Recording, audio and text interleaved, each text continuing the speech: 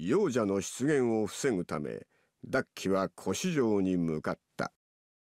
竹中半兵衛らはその童貞が安全に進むよう周辺の勢力を抑える役目に回った。長藩の地に織田軍が集結しているとの情報が入ってきた。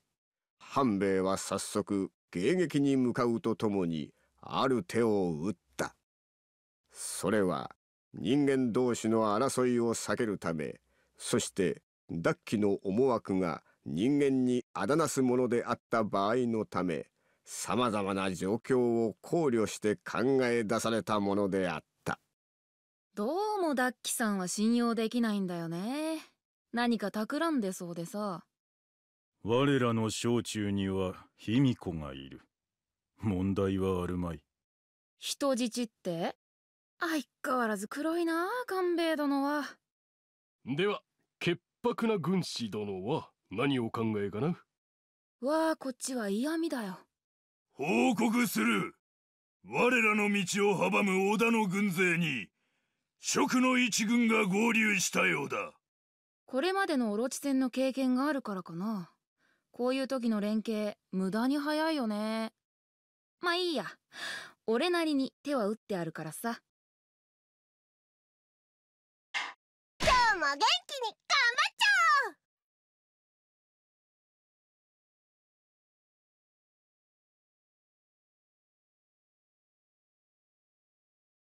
諸葛亮さんと光秀さんが相手か。嫌な組み合わせだね。敵の陣形は間延びしています。火を用いて分断するのです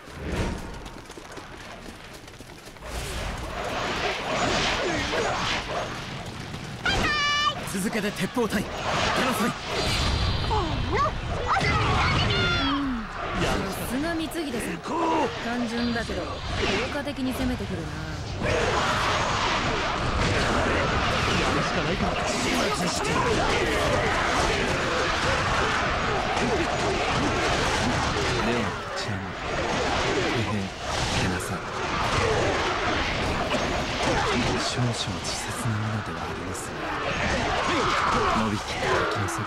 側面を作るのは十分でしょ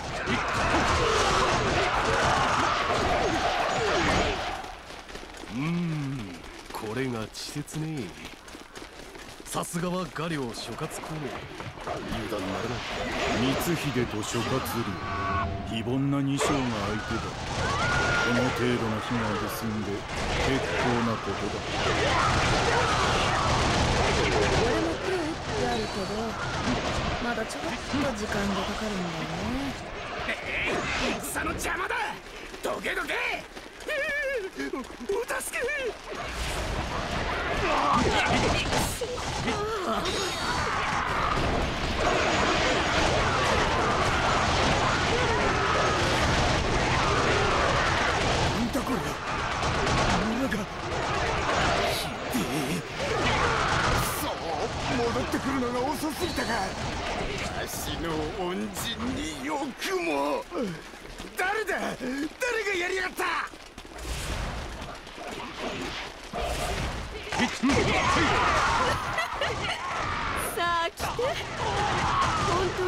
当の地獄はこれからよ。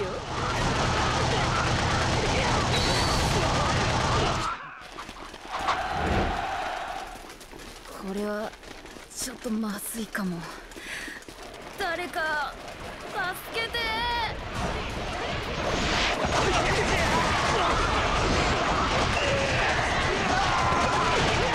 歩兵を駆逐した。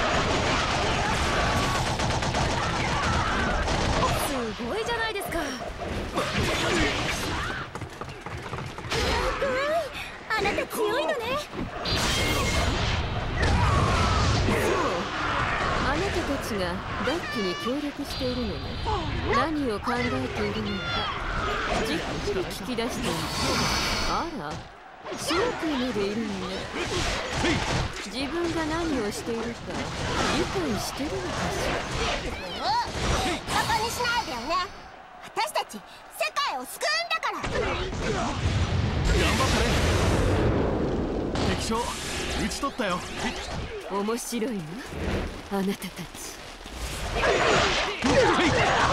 は北から流れ入る岩を落とせ。敵の進軍を食い止めよう。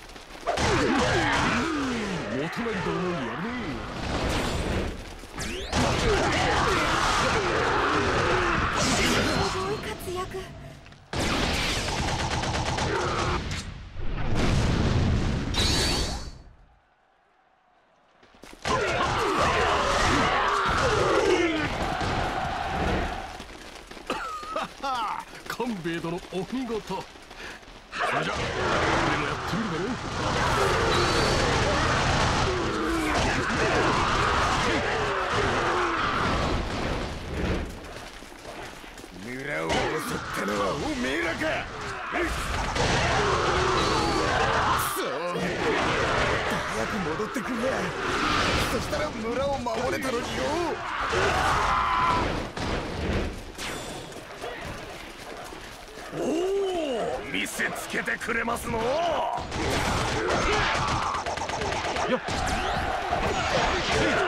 てこんなものでどうだ。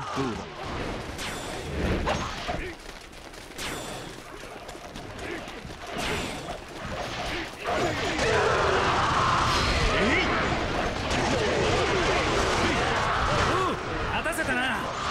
こっからは俺たちに任せとけよ結構な長旅だったってのに。元気なこっちゃ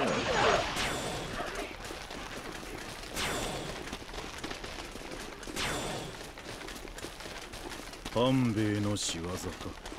ダッキをかばえばいろんな国が敵に回る。それは分かってたことだよ。だから味方を増やしておこうと思って話が通じそうな人に援軍を頼んだんだ。ロと北条から援軍を呼んでいたと竹中半兵衛殿ですがこれも計算のうちです。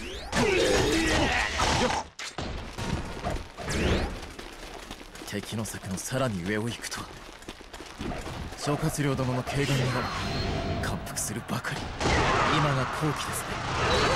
打って出ます。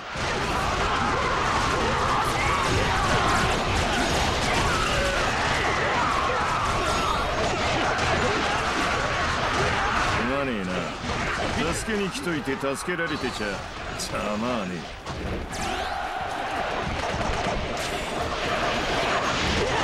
お見事な戦ぶりです。おお遅えんだよ。よくやったがまだまだ小せえ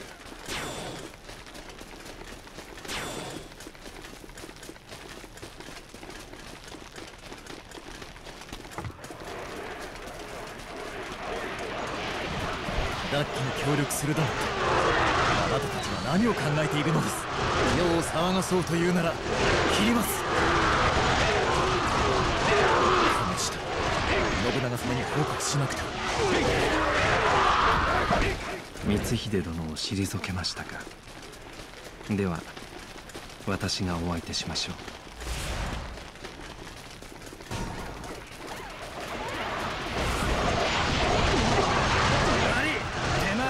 まったな。さあ取り返していこうぜ。方様。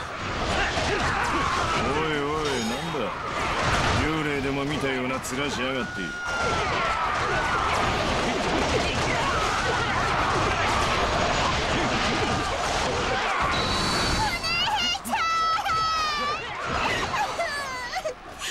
ったわまあ正気どうしたの大げさね。すまねえ。手間かけさせちまったな。すげえじゃねえか。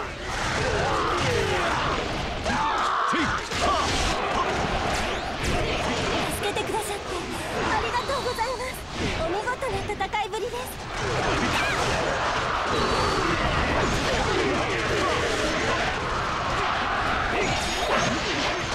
ごいあなた強いのね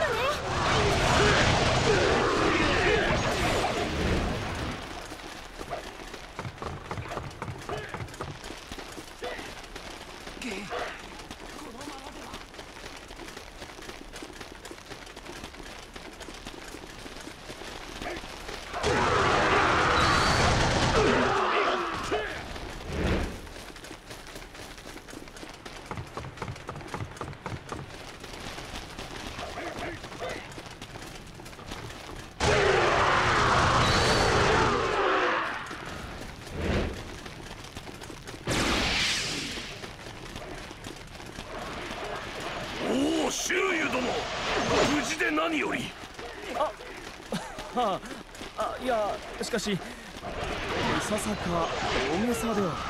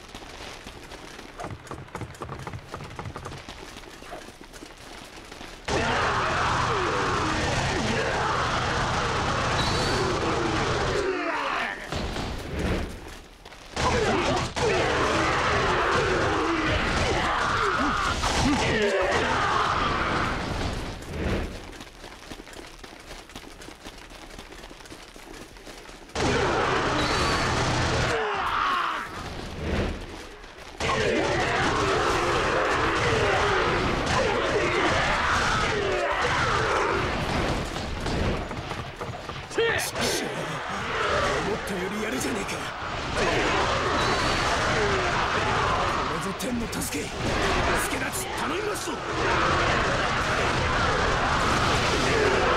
の覚める戦ぶり。見事。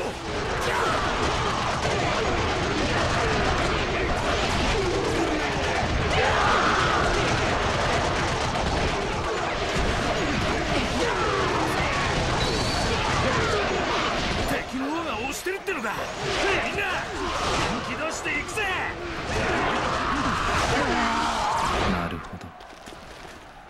劉備殿と家康殿に報告する必要がありますね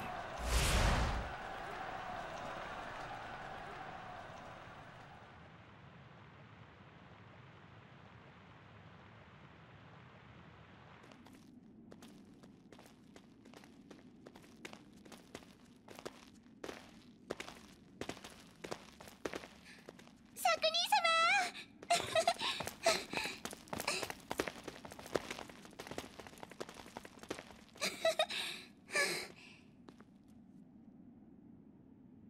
よう元気だったか小僧？様親方様。おいどうした？劇的勝利に男泣きか？だってもう会えないと思って。てか泣いてません。うん。いつもの小僧に戻ったな。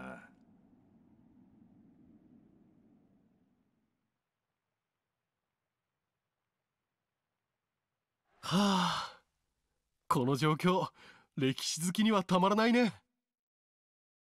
俺らがみんな死んじまう未来だ。寝言は寝てから言え。っていうところだな。普通は。親方様信じてくれるんですか？当然だろうが。でなけりゃこんなところまで出張ってこねえよ。ついでにてめえの涙見せられたんだ。信じるしかねえだろ孫悟と北条の協議の結果半兵衛殿の言に真ありと判断した。これよりは我らも協力しよもう少し周りの状況が落ち着いたら親父も合流するはずだ。それまで踏ん張ろうぜ。しかし天意殿の誤解なんとかならなかったものが。まああの御人の説得が無理だろう。となれば誤解そのものをなくすか。